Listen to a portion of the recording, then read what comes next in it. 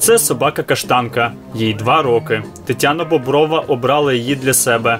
Жінка вперше прилаштувала безпритульну собаку. Говорить, дізналась про виставку Щастя немає породи у Фейсбуці. Мой муж занимался м, клубом. Мій чоловік займався клубом російські мисливські спанієлі. У нас завжди були собачки в будинку.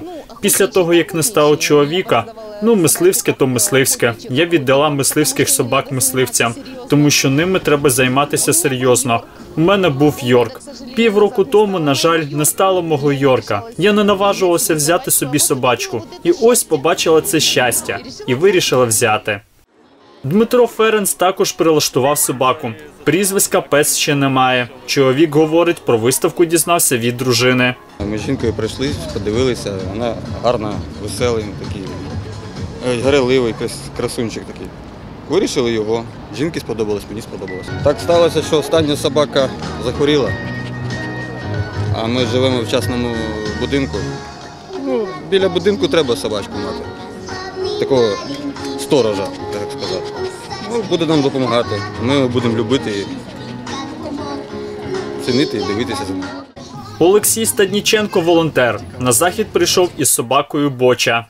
Вона, напевно, найспокійніша собака на цьому заході. Їй всього 4,5 місяці, але вона виросте в досить велику собаку. Вона трохи перелякалась, поки сюди їхала, тому зараз відпочиває. Але вона дуже дуже добра. Е, мені здається, якщо комусь потрібен такий добрий, спокійний друг, то вона буде ідеальною для цього.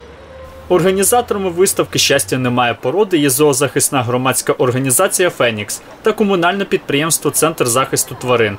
Членкиня ради зоозахисної громадської організації Фенікс Ельміра Галущенко говорить, такі виставки влаштовують четвертий рік. У Всесвітній день безпритульних тварин, який відзначається у третю суботу серпня, представлено 25 собак. Практически всех собак мы, мы выставляли в, э, в соцсетях. Практично всіх собак ми виставляли в соцмережах. Весь цей час, місяці 3-4, ми вже стабільно, постійно рекламуємо наших собак, які знаходяться на КП Центр захисту тварин. Першу собаку, яку забрали, жінка побачила її саме в соцмережах, і саме за нею вона сюди прийшла. Процедура така: собака реєструється, виписується ветеринарний паспорт, робиться щеплення від сказу, вклеюється це щеплення, чіпують собаку, вносять в базу даних, міжнародну базу даних під цим чіпом, і виписується договір. Договір укладається з комунальним підприємством Центр захисту тварин і фізичною особою. На мій погляд, це дуже ефективний захід, який має успіх. Та й в подальшому також мав буде мати успіх, тому що є вже попередній досвід, коли такі проводилися такі заходи, та вони давали дуже гарний ефект. Тобто так достатньо багато тварин прилаштовувалося. Постійно собак ми відловлюємо, стерилізуємо, тому е, можна сказати, е, ця цифра змінюється майже щогодинно. Тварини відловлюються, прилаштовуються, тому в середньому у нас знаходиться там близько 130 тварин на день на підприємстві. Станом на 16.00 15 серпня під час виставки 9 собак знайшли своїх нових господарів. Виставка триватиме два дні.